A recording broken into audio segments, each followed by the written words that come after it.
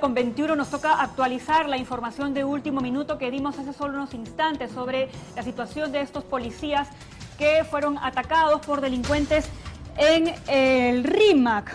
Ya habría otra persona más fallecida producto de esta balacera.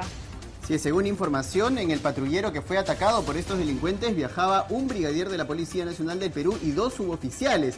Tenemos la confirmación de que uno de los fallecidos es uno de los efectivos que iba en este patrullero. El otro fallecido todavía no tenemos certeza eh, de quién se trata, si se trata de unos policías o de algún delincuente o alguna persona que transitaba en el lugar. El vehículo que fue utilizado por los delincuentes era un Audi plomo de lujo que, eh, en el que los delincuentes huyeron del lugar y fue abandonado instantes después en la cuadra 12 de la avenida Arica.